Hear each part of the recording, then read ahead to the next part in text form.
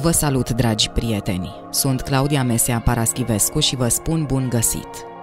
Astăzi, la Teorii Incredibile, vă prezint o poveste ce poate zdruncina din temelii paradigma creștină. Sananda, sufletul lui Isus. Povestea unei persoane care a fost sacrificată pentru a vindeca păcatele maselor s-a întâmplat de multe ori înainte de acum 2000 de ani.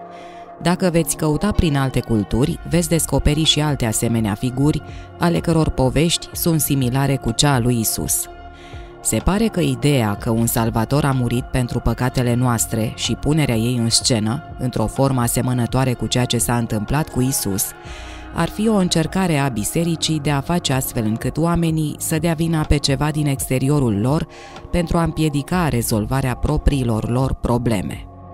Într-un set de volume numit Un curs de miracole, semnate Sananda, autorul lămurește această problemă, explicând că noi oamenii suntem creatori și că nimeni nu poate muri vreodată pentru păcatele noastre. Aceasta din două motive. Pe de o parte, avem liber arbitru și suntem responsabili pentru tot ceea ce facem, iar pe de altă parte, nu există greșeală de neiertat sau greșeală care să ne poată determina să devenim imperfecți. Suntem la fel de perfecți ca în ziua în care Dumnezeu ne-a creat și întotdeauna vom fi perfecți, inocenți și divini. Legenda spune că atunci când Universul a fost creat pentru prima dată, Dumnezeul Creator, Lordul Brahma, a materializat prin infinita sa conștiință cosmică patru fii. Ei au fost numiți Kumara sau ființele eterne. Ei nu sunt nici oameni și nici zei, ei sunt ființe eterne al căror singur scop este de a aduce Universului cunoașterea iluminării. Numele lor este Sanat, Sananda, Sanatana și Sanaka. Dintre acești patru fii, Sanat Kumara și Sananda Kumara, au devenit cei mai mari maestri ai tuturor timpurilor, încă de la începutul creației până la sfârșitul Universului. Ei au studiat cu Krishna și cu Shiva și au fost primii maestri care au predat meditația și yoga. Sanat Kumara nu s-a întrupat niciodată într-o formă umană și a rămas o ființă eternă care nu a îmbătrânit niciodată și nu a participat niciodată la lumea karmei. Sanat Kumara este cel mai înalt maestru și este cunoscut ca și cel mai iluminat maestru al înaltului Consiliu Suprem al celor 144.000 de maestri care supraveghează toate învățăturile spirituale ale acestui univers.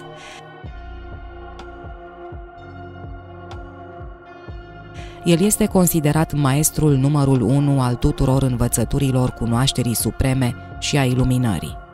În schimb, Sananda a călătorit peste tot prin acest univers și s-a întrupat ocazional în diferite lumi pentru a duce sufletele acelei stele sau planete la iluminare. Sananda este considerat cea mai înaltă autoritate și întrupare a iubirii divine. El este cel mai faimos aici pe pământ pentru încarnările sale ca Buddha și mai târziu ca Maestru Isus. În timpul încarnării sale ca și Isus, Sananda a venit să ne învețe pe noi toți că avem puterea de a crea și de a vindeca. Isus a spus, asemenea lucruri veți face și voi și încă și mai mărețe. El l-a demonstrat pe Dumnezeu prin vindecările sale, crucificarea sa și învierea sa. Pe plan exterior, în lumea materială, el a manifestat calea inițierii. Învățăturile lui Sananda au fost foarte distorsionate în Biblie, dar unele adevăruri au reușit să transpară. Există niște aspecte faptice ale poveștii din Noul Testament al Bibliei, dar există multe distorsiuni. El îi învăța pe oameni că noi toți suntem creați după chipul și asemănarea Creatorului nostru și că toți avem capacitățile pe care El le-a demonstrat. Ne-a învățat să ne iubim unul pe altul și să ne iertăm dușmanii. Nu ne-a învățat că drumul spre Dumnezeu este numai prin El. Câțiva dintre discipolii săi au învățat cum să-și folosească darurile spirituale ale vindecării și clarviziunii și există și în Biblie povestiri ample despre Ioan care făcea vindecări și miracole similare. Sananda într-adevăr a venit pe pământ pentru a crea o nouă religie care ar putea uni omul. Din păcate, biserica creștină a distrus câteva din învățăturile sale – Atât Sanat Kumara cât și Sananda Kumara au lucrat cu pământul încă din vremea Lemuriei. Sanat și Sananda și-au unit din nou eforturile pentru a ne atinge sufletele și a ne ridica conștiința în lumină. În timp ce Sanat Kumara ne aduce cunoașterea supremă, Sananda Kumara ne aduce iubirea cosmică. Ei descarcă în mod constant noi învățături și instrucțiuni pentru sufletele noastre, în așa fel încât noi să ne putem ridica la iluminare și să ne oferim cele mai înalte daruri ale noastre oamenilor acestui pământ. Noi toți am mai făcut acest lucru și înainte în alte lumi. Am intrat în forme umane pentru a aduce cunoașterea iluminării în multe alte lumi, înainte de a veni pe pământ. Acum am fost împreună cu acest pământ pentru atât de mult timp, încât am acumulat mulți nori de karmă și ne-am uitat scopul original de a servi acest pământ și a aduce toate sufletele la iluminare. Sanat Kumara și Sananda Kumara lucrează cu mulți alți maestri pentru a ne ajuta să ne trezim și să ne începem din nou munca. Am trecut prin acest ciclu de multe ori înainte în alte lumi. Acum suntem în fața celei mai mari provocări a noastre de a depăși karma care tulbură toate formele de viață de pe pământ. Sufletul cunoscut ca Isus a fost un fragment direct al descendenței lui Sananda. Cu alte cuvinte, Sananda a fost supra-sufletul lui Isus. Sananda, dat fiind că văzuse omenirea zbătându-se în suferință și ignoranță și având dorința de a interveni în treburile lumii într-un mod care să respecte liberul arbitru, s-a încarnat aproximativ în anul 39 înainte de Hristos, ca fiul al lui Iosif și al Mariei. Măcar acest lucru este în acord de plin cu povestea biblică. Data de naștere a lui Isus a fost însă aproximativ 31 martie și nu 25 decembrie. Așadar, Sananda, o ființă celestă de densitatea opta, s-a încarnat ca Isus. Venind din densitatea opta, el a păstrat multe din capacitățile sale spirituale, în ciuda mediului foarte dens în care s-a născut. De copil avea capacități psihice și a întrezărit multe dintre evenimentele care urmau să se petreacă mai târziu. Maria și Iosif nu se aveau bine cu regimul politic și nu erau căsătoriți atunci când Maria a rămas însărcinată ca să evite consecințele sociale și politice ale nașterii în afara căsătoriei și ca să scape de convingerile opresive ale autorităților, Maria și Iosif au migrat spre Galileea și în cele din urmă lângă Marea Moartă, unde s-au refugiat pentru scurt timp la Esenieni. Temându-se pentru viața lui Isus, Maria și Iosif l-au lăsat în grija esenienilor și s-au întors în Galileea. Mai târziu, Isus s-a alăturat ordinului esenienilor, a petrecut trei ani construind temple și case pentru esenieni, în timp ce participa la învățăturile lor sacre și învăța căile eseniene. Pe malurile Mării Moarte, Isus a învățat să o respecte pe Mama Pământ și a dat o mână de ajutor în aducerea ploii mult dorite, rară în acele regiuni. Esenienii erau vegetarieni stricți și propovăduiau respectul pentru toate formele de viață – erau priviți ca ciudați și antisociali de către guvernatorii ținutului, dar în general erau lăsați în pace pentru că nu păreau să reprezinte vreun pericol și își plăteau taxele întotdeauna chiar dacă ei nu credeau în asemenea lucruri. Vă prezint în continuare, prieteni, un fragment din scrierile lui Sananda, publicat sub titlul Autobiografiei Isus Sananda.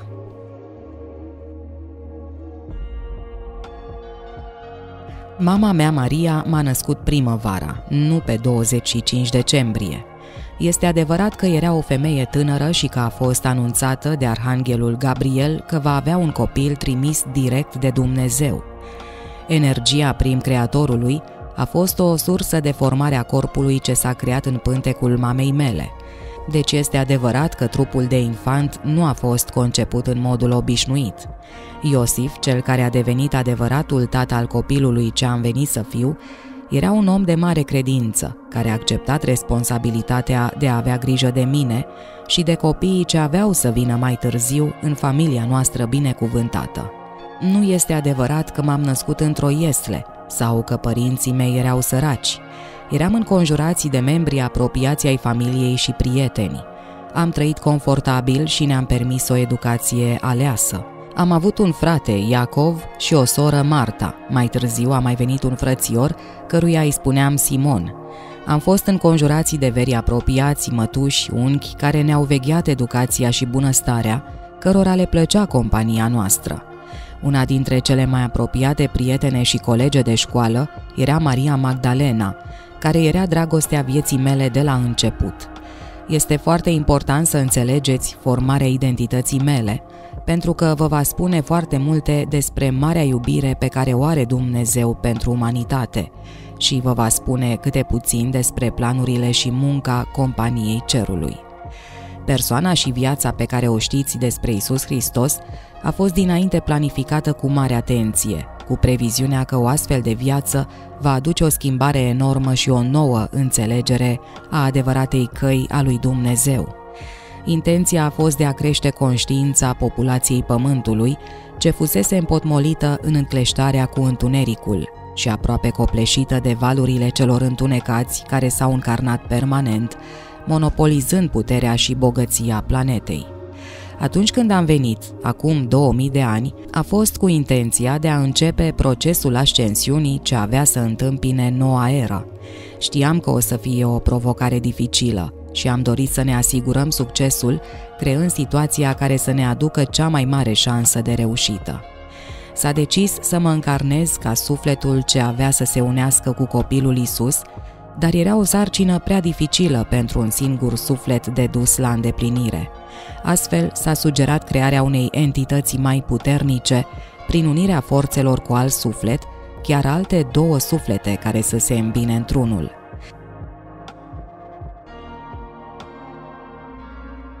Aceasta este creația pe care am convenit-o. Eu urma să mă alătur în corpul lui Isus, cu dragul meu frate și coleg stelar, cel pe care îl știți drept Saint-Germain, un suflet vechi al descendenței cu Mara ca și mine. Apoi s-a alăturat cel numit El Moria, a cărei identitate nu a fost dezvăluită pe deplin până acum. Ne-am simțit atât de confortabil în iubirea și încrederea unul în celălalt, încât am simțit asigurarea că, indiferent ce poate aduce această viață, o să gestionăm totul împreună. Eu aveam să fiu sufletul conducător în asumarea responsabilității, fiind omonimul după care voi fi cunoscut ca și Isus. A fost o mare mângâiere pentru mine să știu că sunt atât de susținut. Speranța noastră era să aducem lumina și iubirea tuturor.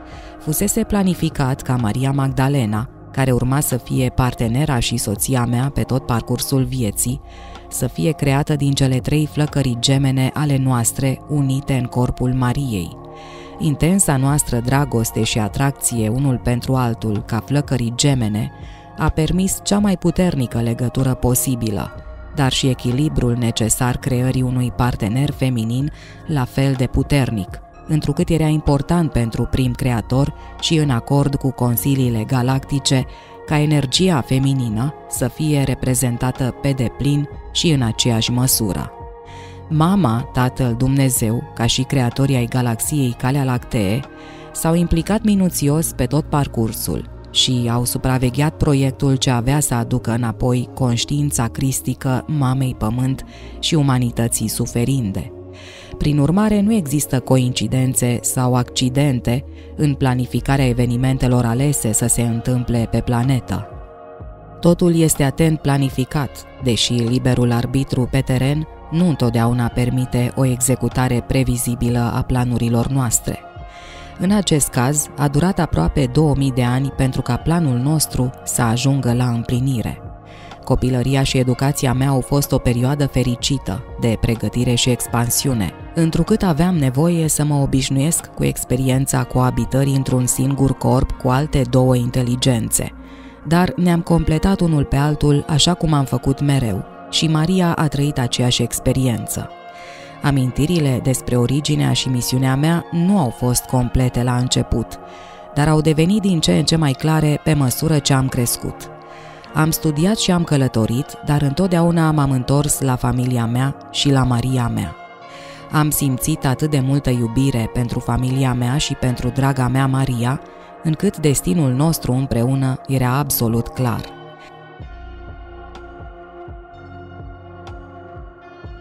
Ne-am căsătorit într-o celebrare plină de bucurie în sânul familiei noastre în Nazaret și ne-am început viața împreună dedicați să aducem lumină și adevăr lumii. Maria m-a însoțit în multe dintre călătoriile mele în alte orașe, iar casa noastră a devenit un loc de adunare pentru conversații.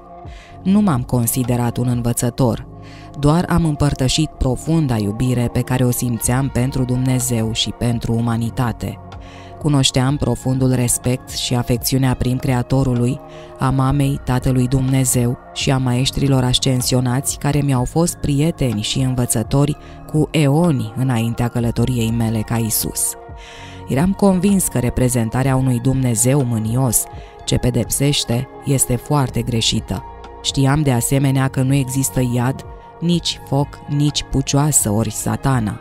Voiam să aduc mesajul iubirii și iertării tuturor celor pe care îi întâlneam, dar de timpuriu începusem să simt intensitatea reacțiilor celor care aveau chiar și o minimă poziție de putere asupra altora. Rezistența lor la vorbele mele de iubire era clară, bazată pe frica de a nu pierde ceva la care nu puteau renunța.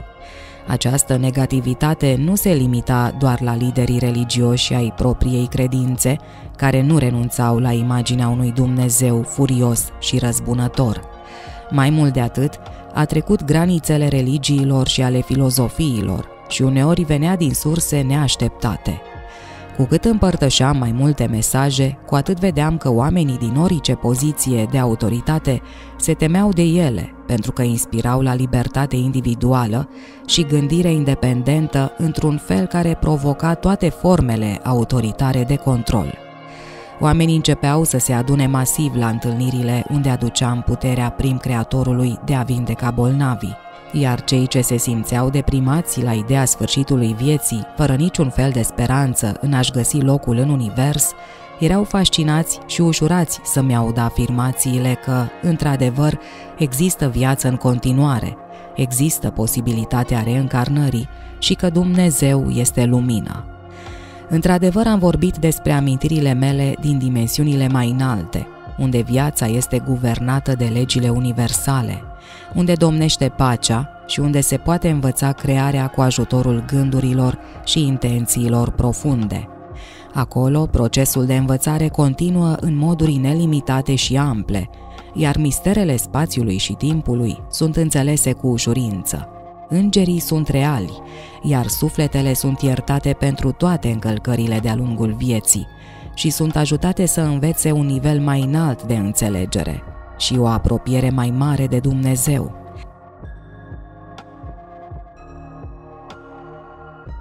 De asemenea, am vorbit despre responsabilitatea noastră ca ființe inteligente de a respecta pe binecuvântata noastră Mama Pământ, care ne hrănește pe toții la sânul ei. Oamenii, animalele, toate creaturile, plantele și locurile sacre de pe suprafața ei merită protecția și respectul nostru, întrucât reprezintă expresia lui Dumnezeu în aceeași măsură ca și noi. Nu am mâncat carne și nici nu am încurajat creșterea și sacrificarea niciunui fel de animal pentru hrană. Cu atenție deosebită pentru nevoile plantelor indigene din climatul uscat mediteranean unde am trăit, am cultivat fructe și legume ce au asigurat o recoltă bogată îndeajunsă pentru toți. Acestea erau învățăturile mele simple și le spuneam tuturor ce doreau să asculte despre gloria vieții când iubirea este mai presus de orice. Desigur, aceasta intră în conflict direct cu cuceritorii romani, a căror civilizație, cu toate avantajele ei, era bazată pe război și cucerire. Așadar, mesajele despre iubire, deși aduceau speranță și mângâiere, m-au adus în conflicte cu autoritățile în întreaga regiune. Prietenii și studenții mei, la rândul lor, duceau mesajele despre iubirea lui Dumnezeu pe oriunde se duceau. Câteodată luau notițe și Maria Magdalena transcria unele dintre învățăturile noastre într-un limbaj mai plin de grație și mai concis. Aceste scrieri au fost ascunse, revizuite sau reinterpretate într-o altă perspectivă, una diferită, ce inspiră teamă și sentimente de posesie. Mama Pământ a fost descrisă ca o forță care trebuie cucerită, iar iubirea lui Dumnezeu a fost acoperită de aroganță și dispreț. Aramaica noastră simplă și directă a fost răstălmăcită în pilde greu de înțeles și deformate.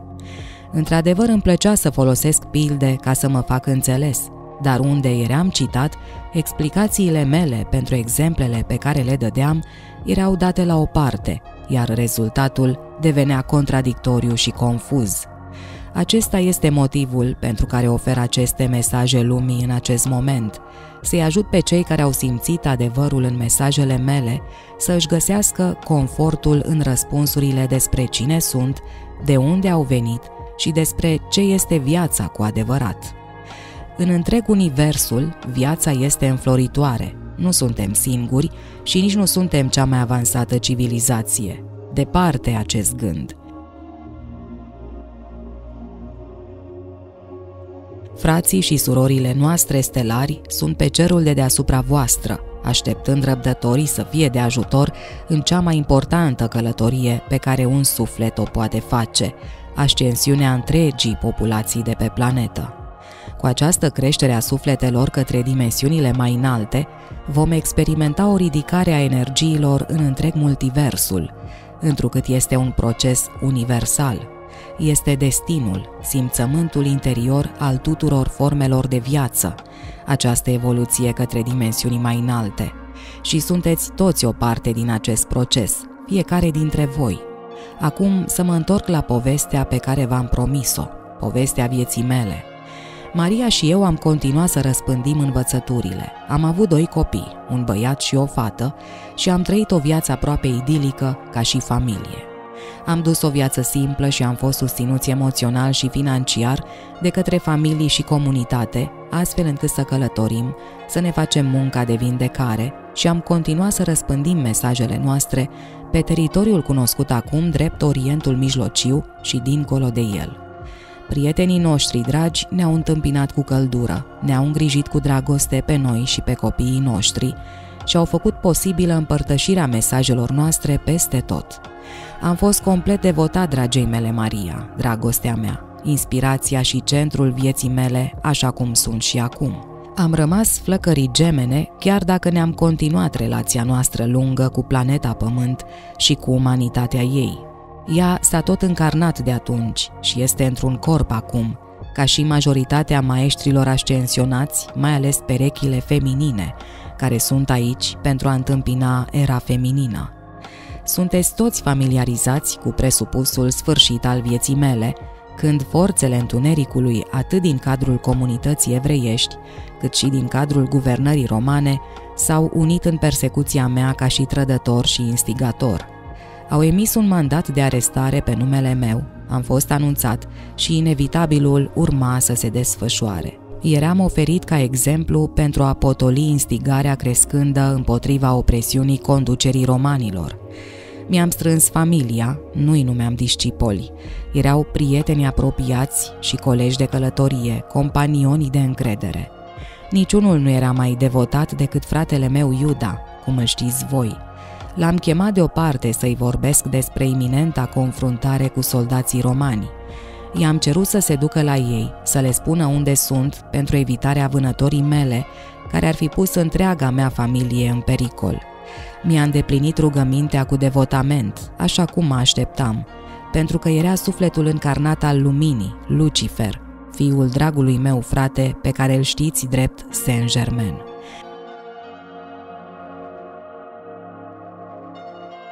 El a fost și este purtătorul luminii lui Dumnezeu, așa cum spune și numele său. Nici atunci și nici acum nu a avut nicio legătură cu creația fantezistă a celor întunecați numită satana. Nu a fost vorba de nicio mită sau trădare. M-a iubit atunci pe cât mă iubește și acum, fără rezerve. Astfel am fost luat în primire, am fost supus unui scurt proces aranjat de mâna autocratică a lui Pilat din Pont, am fost apoi legat și da, mi-au bătut piroane, dar nu de cruce, ci de un copac mare în văzul poporului. Nu am avut onoarea să fiu pus pe o cruce, contrar cu invențiile istoriei.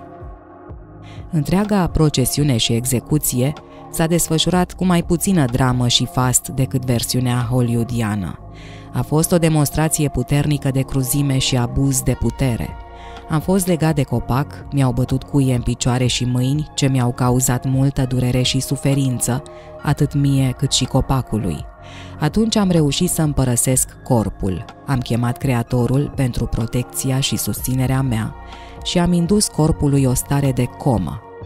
Noi, sufletele care am locuit acest corp până atunci, am reușit să ascensionăm către dimensiunile înalte în timp ce ne-am îngrijit de nevoile corpului. Am ținut licărul vieții aprins până când corpul s-a stins și, prin îngrijirile mamei și soției mele, corpul a fost mai târziu resuscitat. Și, într-adevăr, am apărut prietenilor pe drum și m-am arătat și lui Pavel de asemenea. Dar asta după ce am petrecut o perioadă scurtă de timp să-mi vindec rănile cu sprijinul deosebit al celor două miraculoase Maria. Nu am părăsit planeta atunci, nu, am trăit acolo mai departe. Dragi prieteni, într-adevăr o poveste ce clatină din temelii paradigma creștină. Dacă sunteți curioși să aflați mai multe, vă recomand setul de cărți Un curs de miracole semnate Sananda.